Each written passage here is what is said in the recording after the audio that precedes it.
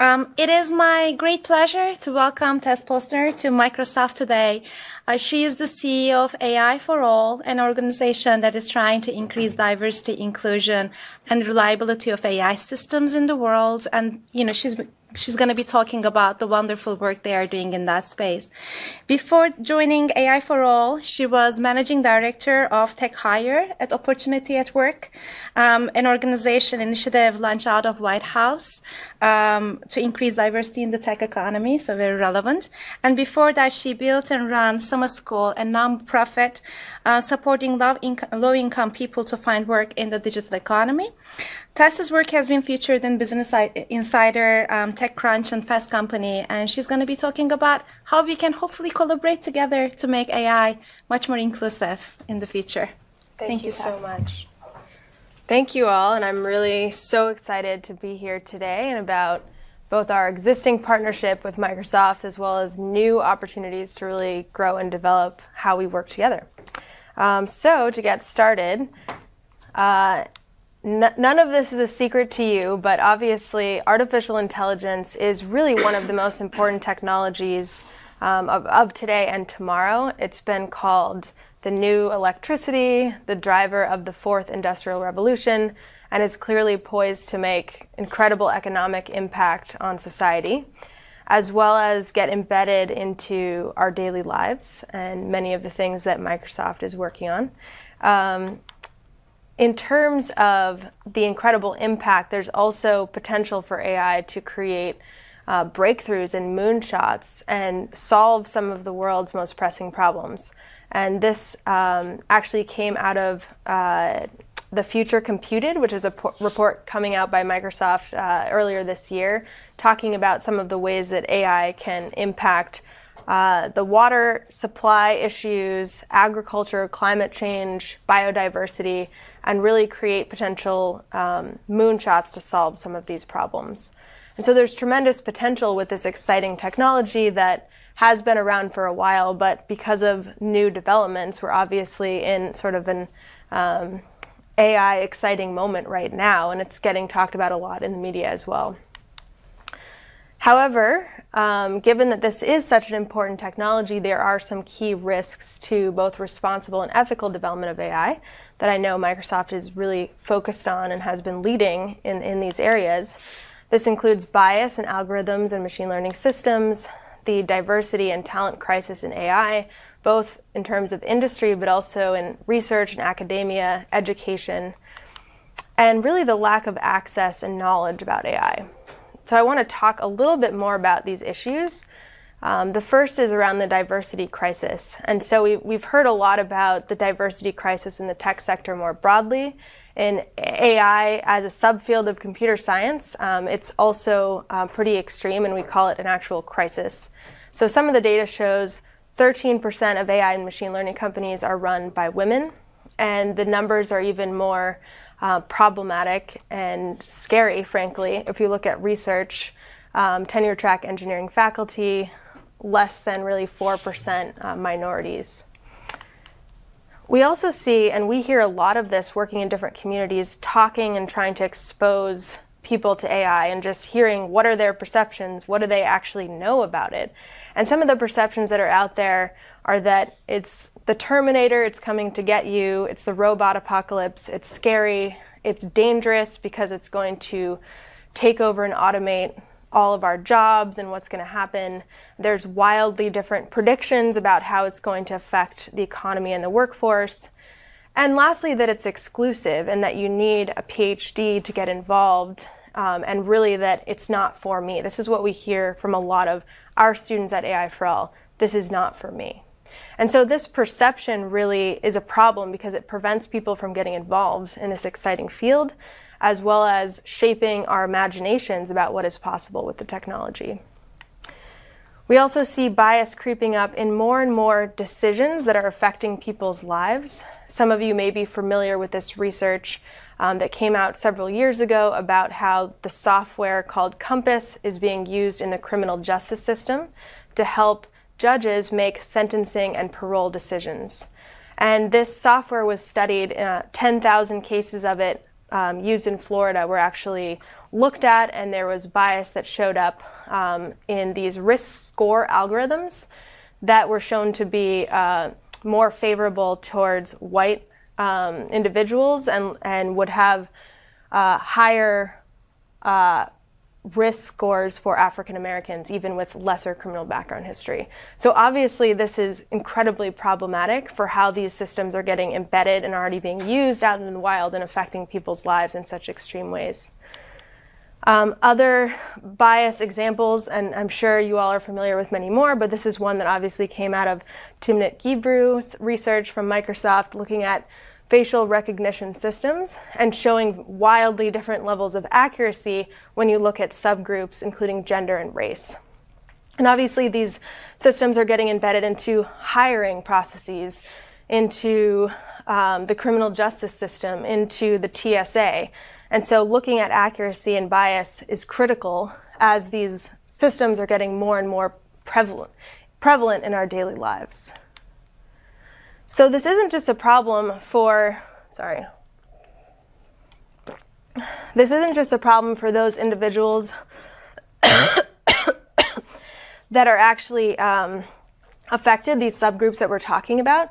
It's also a problem because these systems are being used. So a recent Gallup poll showed that 85% of Americans use AI every day. This is pretty impressive, and it's just going to grow. So, how do we actually address this? There are a lot of things that I'm really excited to learn more about from all of you that Microsoft is leading on, including better systems of how we test, monitor, and audit um, AI systems before and in the wild so we can track and, and take, uh, take actions to actually mitigate some of these. Fairness, fairness and ethics standards, transparency and explainability, and I know some of you in the room are actually working on this. And of course, lastly, is diversity inclusion. And all of these we consider at AI for All to be really critical and important um, to addressing this and mitigating these risks. But we believe that one of the most important things is to actually address diversity inclusion in AI. So that's why we started AI for All, which is a nonprofit organization founded to increase diversity and inclusion in AI development, policy, and research. So, not just looking at AI development, but also all of the different parts that this technology will touch, including the education system, government systems, and everyone needing sort of not just AI literacy, um, but to have more diversity in all of these areas that are going to be shaping such important decisions. So I want to share a little bit about our work. So why do, did we start AI for All? There's a challenge when you're looking at barriers to underrepresented populations actually getting into the AI field and touching um, the different ways that this technology will impact all these different areas in, in an interdisciplinary perspective. So, in terms of the current homogenous culture in AI, as well as some of the perception issues that we talked about earlier, that doesn't necessarily attract new people getting into the field and can be a barrier. There's also a lack of exposure to technical concepts and certainly AI. So, AI is currently not taught in high schools and it's not part of the computer science education. And in fact, only 40% of high schools um, have computer science education even offered, not to mention that they're not including um, new and emerging technologies like AI.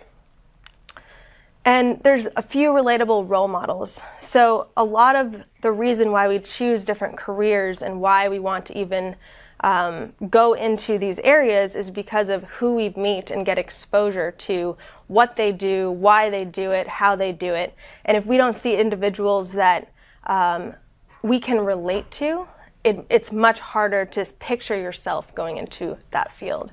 Um, and a lot of these are actually based on a Microsoft research um, study that came out about earlier barriers to getting into the computer science field. And so we actually built AI for All to address each of these barriers and ensure that people from all backgrounds are able to get into the field. Um, there's also this idea of peer community and support that is lacking. So if if you know that is not uh, prevalent at your high school, for example, it can be much more challenging to feel like you can go into, um, you know, a computer science club, for example, that's 100% male if you're a young woman. And that's what we hear from a lot of our students as well. So we address this with uh, three core initiatives that are really trying to um, not only bring more people into the field to begin with, but also to support their pathway and long-term success. So our first initiative is a summer camp program that exposes diverse high school students to artificial intelligence. And we partner with some of the top research organizations, um, including Stanford University, Princeton, UC Berkeley. And we actually bring students into these research labs over the summer for a two to three week camp. And they learn directly from AI faculty, researchers, um, get technical exposure to AI, get connected with role models and mentors, and then also get to work on AI projects. The second piece is increasing awareness and access to AI, and this is really getting back to the perception issues that we talked about earlier, that AI literacy is really becoming something that needs to be basic for almost everyone participating in our society in the future. And then lastly, research. So I want to talk a little bit more about each of these pieces. The first is our summer camp programs, which I talked a little bit about before. And so uh, we last year we had summer camps operating at Stanford and UC Berkeley, and this summer we're tripling the number of schools that we're at. And as you can see, each of these schools um, focuses on a slightly different population uh, as well as uh, different geographical focus. I wanted to share with each of you a little bit more about the curriculum that we've developed in partnership with these universities as well as our uh, team. So the first piece is technical exposure. Our camps are pretty rigorous because we want to give students that hands-on exposure to some of the key concepts. And importantly, ethics and the societal implications of AI are really a lens that is throughout all of the pieces that we um, share with students. Even the technical concepts, we're always talking about what kind of bias could potentially creep up here, what are some of the mitigation strategies, and what are the implications that this will have both positive and negative in the world? And what are some of the frameworks that you can that are getting developed? Although there's not like a consistent framework out there now we are exposing our students to some of these frameworks um, getting developed. We're also giving them the opportunity to get involved. So on monday we're going to be launching the first ever high school committee, committee with the IEEE AI and Ethics of Autonomous Systems initiative. And so young people are actually going to get a chance to be involved in this conversation and shaping what some of these standards are and getting their perspectives in the mix. Since this generation is really going to be the one that is most impacted by the decisions that we make today, it's critical that we involve them at these early stages. So the second is soft skills and career exploration. And so again, this is going back to the need for role models and mentors. And so we bring in individuals from our industry partners and all different parts of AI to really understand what kinds of careers are out there, what does it actually look like day to day, and also developing that peer and mentorship community that's so important for students. The last piece, which is really exciting and I think we've found has been one of the most successful ways at engaging diverse groups of young people in AI, is to actually create AI for Good projects. So not only are students getting hands-on exposure to practice some of the skills that they've developed earlier on, um, but they also are seeing what are the exciting applications of this technology for good and to solve some of the big challenges in the world today um, we've seen that this has not only captured our students' imaginations, but that they've gone on to work on AI projects afterwards, start AI clubs at their schools, and even win awards. So just clarification. Yes. For these summer camps that is happening at, in these universities, um, how does the structure look like? Like, do some of them focus on research? Some of them are more on the curriculum for learning about these topics, or it's it's a mix? Or it varies from university to university? Yeah, that's a great question. So our summer camp is structured in a way that we have a core curriculum that focuses on those technical concepts that we mentioned, and each camp um, sticks to that and tries to keep that consistent across. And then we have obviously those in person activities that might vary in terms of which individuals can, are on the career panels and all of that. And each university is responsible for developing AI research projects in partnership with us, but that really is based on some of the research being done in that in those labs as well as what the faculty and PhD students are really passionate about. So it's very much um, you know, taking advantage and leveraging the assets that are at those universities for the research projects. How long is each camp? I'm sorry you may have said this one. Oh, no problem. They're two to three weeks long, um, depending on each site. And they're pretty intensive, so it's, it's all day. and then they do fun activities at night. So, one of the things that we learned um, this past year in expanding and tripling the number of camps is that there's incredibly high demand for these types of skills. So one of our program that on, programs that only has 20 slots got 900 applications. And so we were like, wow, this is amazing. We also get a lot of interest from all over the world. And how do we embed AI curriculum into what we're already doing, places in every continent basically. So we decided that we want to open source our curriculum and really try to scale the learnings that we've had and make this available um, worldwide. And we see that there's tremendous um, scale potential here. This is very early stage and we look forward to launching it later this year. The third piece of what we do that's very exciting is taking graduates from those first two programs and connecting them with mentors to work on more um, rigorous and longer term AI projects. Obviously, having portfolios and actual demonstrated work product is so critical in both your education and your career these days. So, we're really trying to develop students' portfolios. Um, so, we just finished a cohort um, two weeks ago, and we had students working with mentors from IBM, from Pandora, from OpenAI, working on research projects, and here are some of them. So, using AI to detect wildfires, um, ranking the urgency of ambulance calls, and personalize this student on the right, working with a mentor from OpenAI, built a math tutor that is adaptive and personalized um, that she's planning to actually launch. So, we see incredible um, results when we pair our young people with their passions and connect them to that support and that mentorship.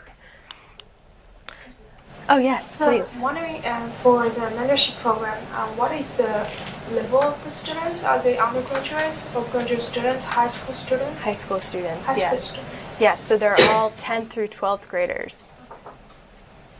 So we talked a little bit about AI for All's work and why we think diversity is so critical in mitigating the negative impacts like bias and the other ethical risks in artificial intelligence. But really, diversity is critical also for maximizing the potential for AI breakthroughs and moonshots. And so, if we increase diversity in AI at these early stages, especially, we're going to see more innovative products, a more diverse set of problems actually addressed, as well as the network effect of bringing more people into the field. And I want to share several case studies that showcase this.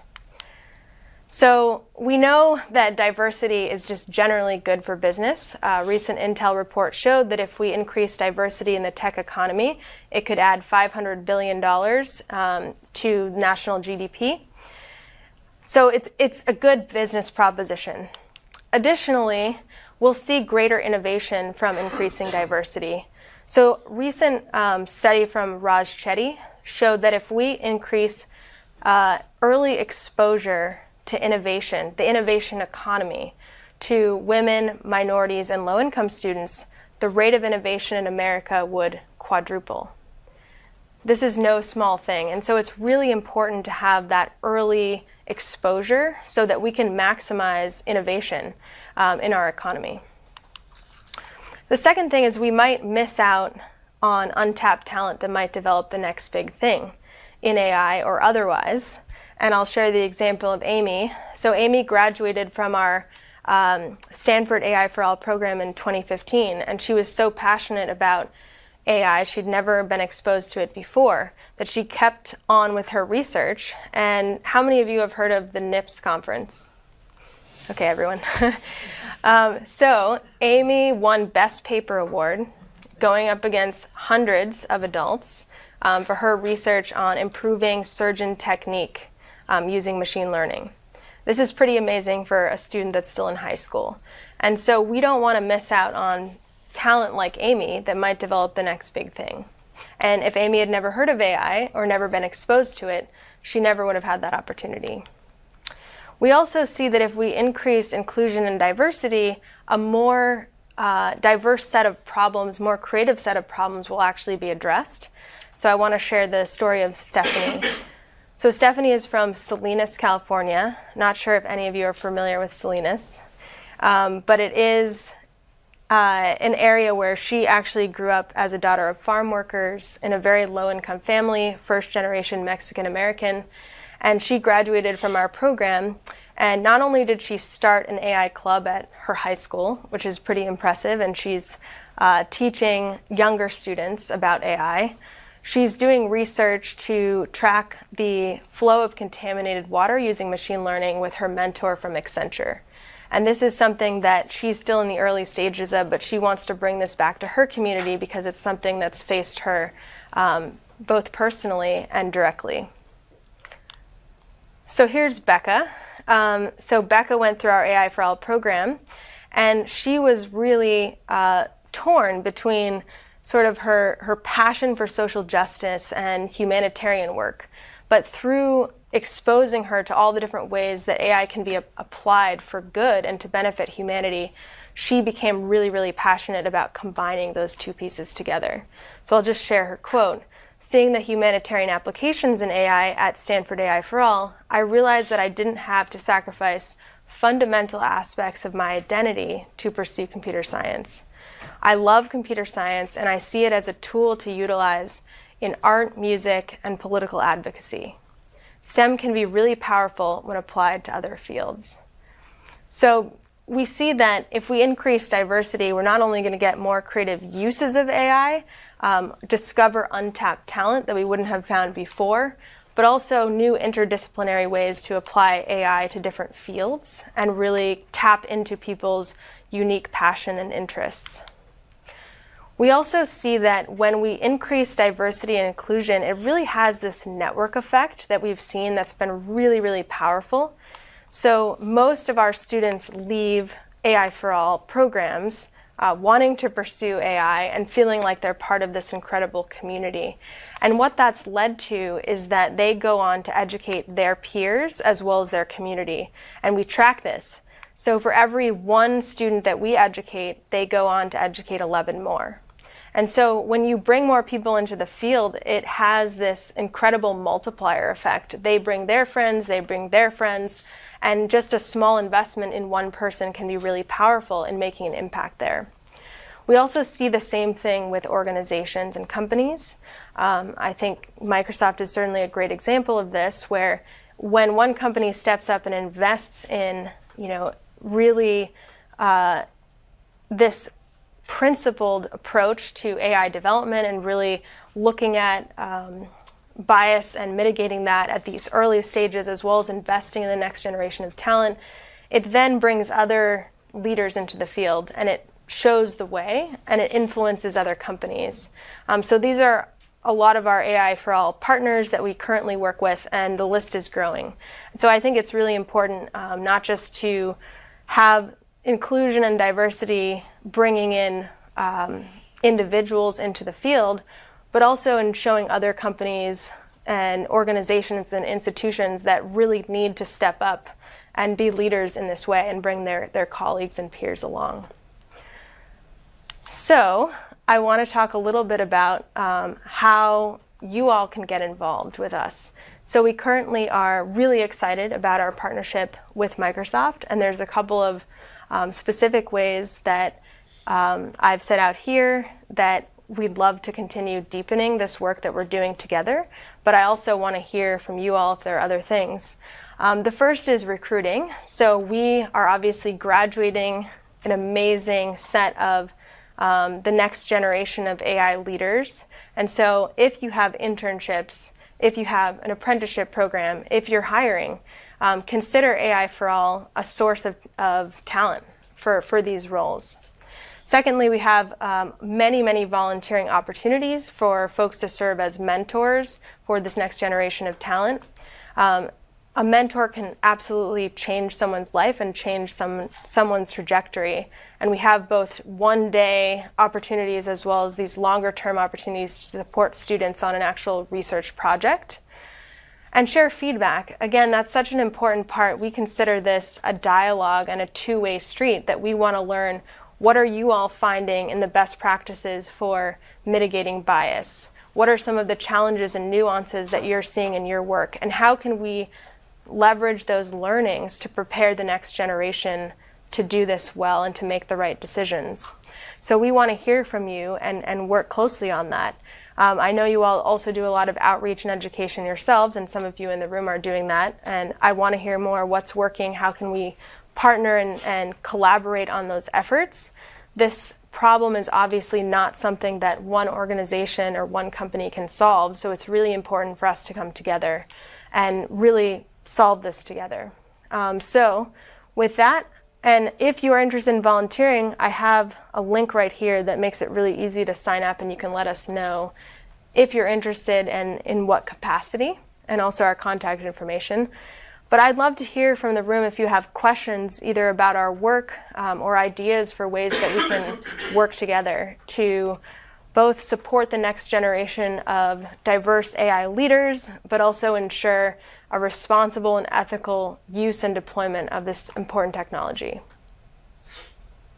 So, any questions, thoughts, feedback? Yes. The graph, and I apologize, I was a few minutes late coming from another meeting. No problem. The graph you showed the sort of number of students touched, which is extremely impressive. How are you getting that um, that volume of touch when you say you have programs that sort of only accept 20 students? Yeah, that's a great So question. that number come from? Yeah, so um, right now our main programs are at these universities that have you know between 20 and 30 slots, and I think what you're referring to is our open sourcing project that we've is really our scaling plan. So we're getting so much demand and so much interest, and we believe that this access to AI tools, education, and resources should be widely accessible. And that's not getting addressed right now, um, at least in the US at the K through 12 level. So we're taking the, the curriculum and learnings that we've built for our summer camps and open sourcing them to make them more widely available, which we have the goal of reaching millions through that model um, by working with existing partners, schools, and, and companies who are already in the, doing this work. Thank you. Good question. So in your summer camp curriculum, what are the kinds of applications you have the kids working on? Yeah. So um, we focus on robotics, computer vision, natural language processing, um, and each of the universities develops a set of projects that are focused on those applications, but are all around AI for good. So, for example, looking at social media data and analyzing that after a natural disaster. Um, we were looking at uh, after Hurricane Sandy data set to see how would you better funnel resources towards that in, in response to sort of lessen response times and make them more accurate. Um, or making hospitals safer using computer vision. Or how does the self driving car revolution affect mobility for aging populations? Um, so, so those are some of them, and we have about four to five projects at each of our universities that are co-designed with those researchers and faculty. Great question. Yeah, I love that because I, when I look at most curricula, especially for kids, you see sort of the same things come up again and again, like robots. And for like a, a kid like like one of the ones you showed, who's really interested in social justice, that's just not going to be a turn on. So I love the, the approach you're taking. Thank you. Yes. What about data sets um, for these? Is it that um, the program has, has data sets that all the different universities use, or, or are the researchers at the different institutions providing the data sets? Um, Yeah, great question. It's a combination. Obviously, getting good data sets is one of the key challenges, right? And so that's part of what we try to teach our students is how do you find the right data set? How do you analyze the data set so you know its quality? What is does size matter? Where do you host it? All of that. And so that's why we certainly provide some of them, but we also allow the students to try to go out and identify where can you find this kind of open source. Um, we've also leveraged tools like Kaggle um, and other other kind of open source tools that are out there. And in some cases, the universities will provide those data sets. It's a great question. Yes. Do you also have opportunities for people who are, you know, have already sort of studied a field and sort of looking to move into, like, because these are, I think, mostly focused on, uh, you know, students, high school students uh, who are interested in getting into it and they haven't had, you know, education shaped in a particular way, but do you also have opportunities for people switching fields? That's a great question. So currently we don't. So our summer camps are mainly for high schoolers, but our open source curriculum will be available and open for anyone to use because obviously there, there is a gap in basic AI training at all levels. Um, so it's a good question. Other questions? Yes. I think there's a difference between creating like an edX or Coursera course and the approach of summer schools. So, you know, I feel like the impact you're having, you cannot really access it if these students are sitting at home and just watching the material in an online way. So there, there seems like there's a human touch part and meeting with people and working with them and getting their hands dirty.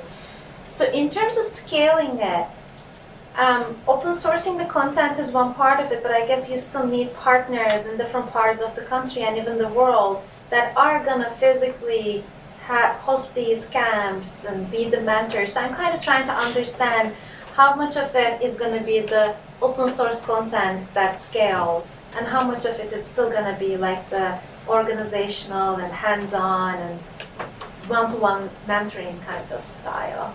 Absolutely. Yeah, no, it's a good question, and we find obviously a lot of the barriers for people that are currently excluded from these fields have to do with lack of role models and mentors and those pieces, and we don't want to miss that in, in these new models. So, in terms of our open sourcing curriculum, it's not going to be just a MOOC. So, there will be some materials that will be openly available, but then we also are working with partners closely who are already teaching, let's say, CS classes um, or run, you know, after school STEM programs um, that can actually provide that in person component. So, absolutely, we don't want to miss out on that because the peer community, that human touch, as you said, is really a critical part of why our programs have been successful. Um, we also will be offering again that mentorship, fellowship opportunity to students that want to continue their learning. We also see that with the open source piece, that will really give people exposure to what is available in this field, and then they can take that knowledge further. So we'll be really, really. I think there's a big gap right now in terms of what is even a career in AI. So the work that you all do is absolutely so interesting. And if if more people could understand like what are the different pathways, what are the things that you can work on, um, I think that will inspire a lot of people to pursue this. And so we're also going to have sort of like a career exploration component and element where people know, hey, if I'm really interested in research and what does that actually look like, I can go in this pathway in this direction. Um, so I think that we'll give them specific steps of how to move on to that, that next phase of their learning. Good question. Other thoughts? So I think uh, in terms of what you said, um, a career in AI, uh, it seems like the program covers the education part and then the research part with partners. But it seems to me like there is a gap, like the industrial part is missing here, because AI is now very is more like a common practice, or even become more common in, in the industry part, in the engineering um, segment, as well as like data scientist, data analyst. It seems this part is sort of missing in this program. So is there a specific reason why you focus choose to focus on on research instead of the engineering part? That's a great question. So I think that's where our industry partners come in and are so critical to this. So we're actually working with a lot of different um, AI focused companies that can offer our students both internship opportunities, um, job shadow opportunities, mentor opportunities to really get exposure to what these different careers are, not just in research.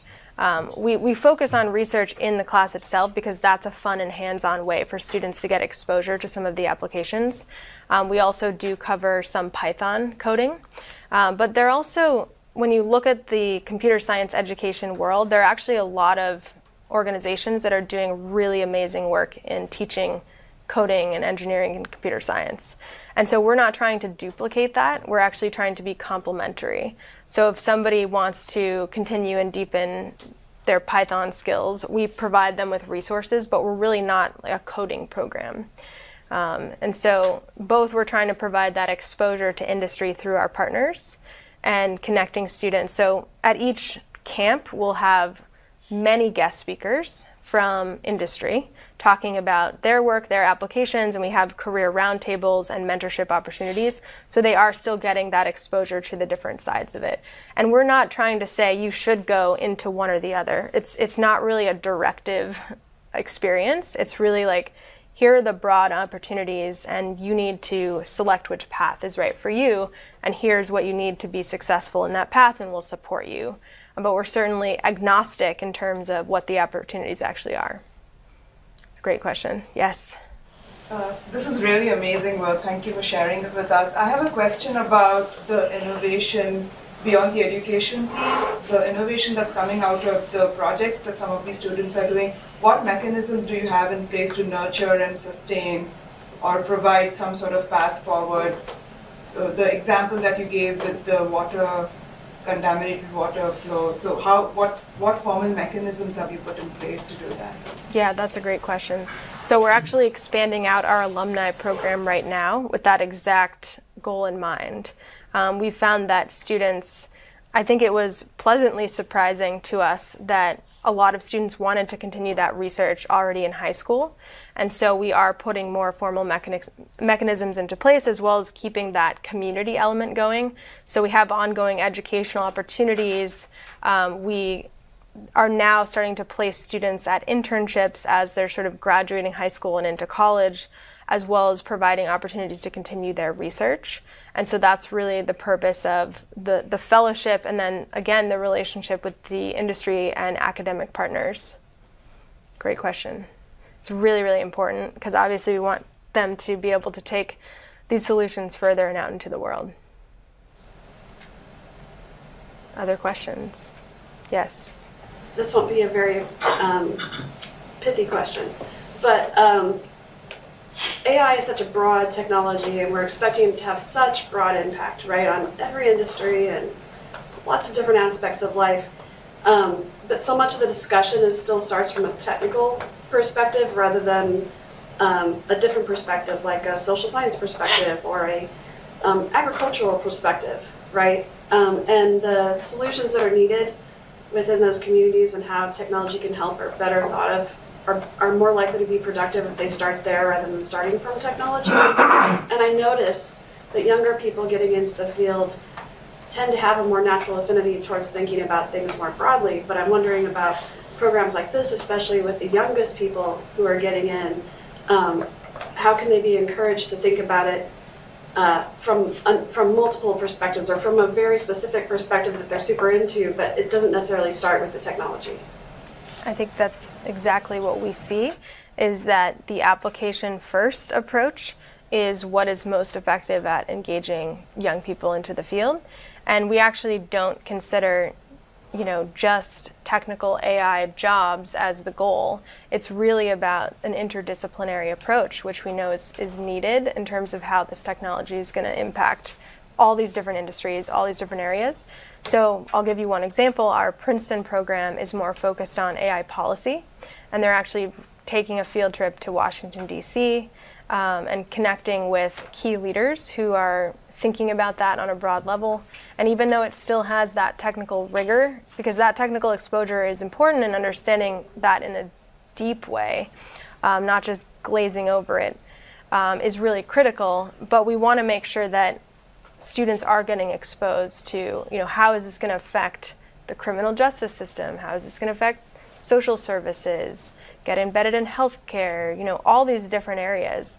Um, and so I think that's both in reflected in how we actually teach it, starting with the application and then moving into the technical side, as well as the kind of projects and other exposure that our students are getting. Thank you. That's a great question and really critical, I think. Yes. I, I, have a multi-part question, but I think I'll, I'll just start with the easy one. Uh, how much does the summer camp cost? Yeah, great question. Yeah. So um, most of the camps are free or very low cost for the students, so access is absolutely critical, and we have full scholarships available for those that can't pay, um, even if there is a fee. Awesome. And then do you do like name scholarships? Like, let's say uh, a company gives a chunk of money to your organization, does that then end up in like branded scholarships for students, or how? Uh, is there what, what kind of play is there to integrate industry partnership donations with your organization? That's a great question. We haven't done that yet. Um, I think we'd be open to it for sure. I mean, access is is absolutely critical in providing this education for students that need it most. Um, we currently work with funders that kind of more support general operations or that haven't specifically done like a scholarship fund per se. Right. Um, but yeah, definitely open to those discussions. Cool.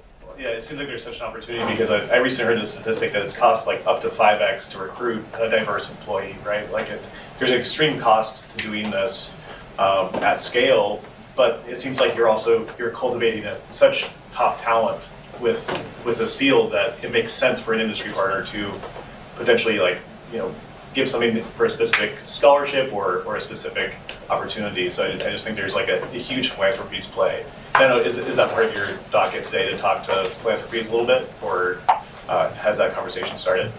Yeah, and Microsoft is already a financial supporter of AI for All, so that's great, and we'd love to, to talk about increasing that for sure. Excellent. Thank you. Other questions? How are we doing on time? Well, we, we have another 40, 45 minutes. Oh, wow. To, well, you can also keep it shorter and so that people can um, spend the time in different ways. But my, so first of all, we just started this partnership and on the MSR side, the outreach team um, is in contact with Tess about planning and deciding next steps. But I think we can do a lot together and if you have feedback for the outreach team, you know, this is one of the things they are they're thinking about. Either we can talk to Tess directly or plan internally with the outreach team. Those are all I think possibilities and that's one of the reasons why Tess is here today to start that connection. My question is, um, for a program where there are like 900 applicants and 20 spots, what is the current selection criteria like? Yeah. So we have an application process that is mostly um, qualitative. So we ask key questions like about leadership, their interest in AI. They don't have to have any coding experience or AI experience. Um, this is specifically trying to track students that are not coming in with that. Um, so it, it's a set of essay questions mostly, kind of like maybe you'd see in a college application process. Um, we do look at math and what math background they've they have because if they're not at a certain level, it, it will be more challenging to get through some of the more technical pieces of the course. But most young people that are at a ninth grade math level and above um, are good. And then um, yeah, I think in terms of where we recruit from, just to, to add on to that, we actually found that doing direct outreach within high schools and working with teachers directly is the most effective um, because there isn't a lot of knowledge out there about what AI is, what those terms even mean, and there's a lot of misperceptions about what it is. There's a lot of fear out there. Making that human connection with students and sharing what is this really and what are the opportunities and you know what kinds of jobs can you get in this area has been really successful at bringing in students that wouldn't otherwise get exposure to this? Great question. Anything else? Yes. And, and I don't know if who would speak to this, but do you have an envision for um, a role that MSR might be able to play in this, other than um, you said a lot of your industry partners um, provide internships and things like that, but um, it went by quickly, but the universities that are involved, none of them are sort of in this area. Um, is there thoughts of running camps in the Seattle area, or what type of um, involvement do you guys think we're aiming for? Yes, thank you. Um, yes, I mean, so we're definitely interested in expanding the summer camps. I think given this group and the focus here, research is um, a really exciting area. So we do have this fellowship program that does focus on connecting researchers in the field with our students and helping us design the right researchers. Um, there's also opportunities for, I think, thought shared thought leadership around what ethics frameworks should we be including in our curriculum? And how can you all advise on that based on what's actually happening in this space? Um, I think there's some education opportunities that we're going to be talking about later as well, in terms of how do we collaborate on outreach or education initi- initiatives that you all are already doing and sharing cross learnings. Um, we're also in contact with the TEALS program.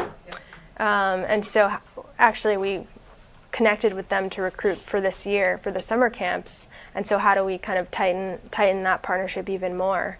Um, and so those are those are some of the, the key areas. I think there's expansion, you know, the technical content research, um, mentorship, and and taking advantage of all the amazing talent here and connecting that with the next generation. Um, and then, of course, us being a potential source of talent for you all as these young people go into the field. But we are certainly open to other ideas. I think, again, these conversations are just at the early stages, and we're excited to build a deep and long term relationship. So I'd be eager to get folks' feedback as well. It'd be great to go beyond MSR too. And I know we're sponsoring it now, but Microsoft is a much bigger place than we are, and I think that's probably really critical for the longer term. Thank you. Yeah. I wonder if you've thought about um, also uh, um, doing some uh, young participants back to industry feedback, right? Um, It is, it's not just that we need to recruit people who look different than our current population does. It's that we need to understand how it needs to be different in order for that to be a healthy thing to happen. I also think that um, these young people, like there's, we have a lot of misperceptions about them as we get older and how they think about privacy and how they think about security and how they think about their own personal agency and how they think about technology. And we could learn so much um, by having them talk to us about those things. And I think they could feel very, um, very appreciated and empowered by having the opportunity to teach us what they know that we don't. Absolutely. I think that's an amazing idea. And it's very kind of reflective of what we're doing, like with IEEE that I mentioned earlier, where we're actually having the young people give substantial feedback on some of the standards um, and working groups that they're developing.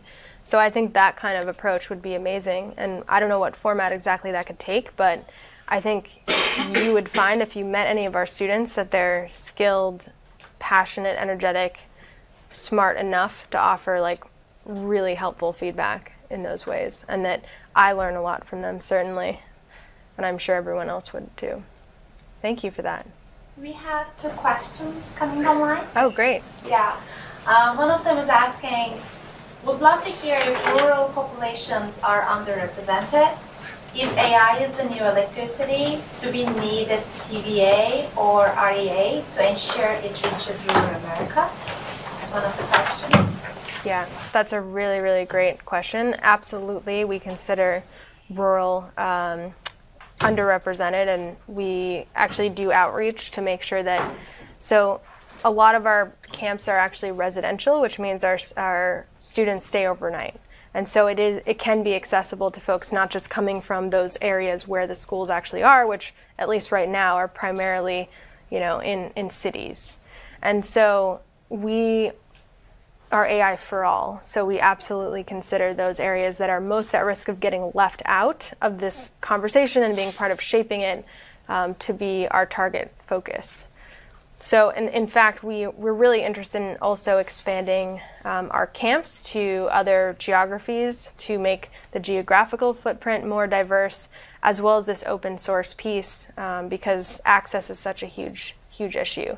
I think, though, one of the challenges, I've worked in rural areas um, in the past, and bandwidth and internet connectivity, 50% of low income households in the US don't have access to internet at home, which is shocking to a lot of people.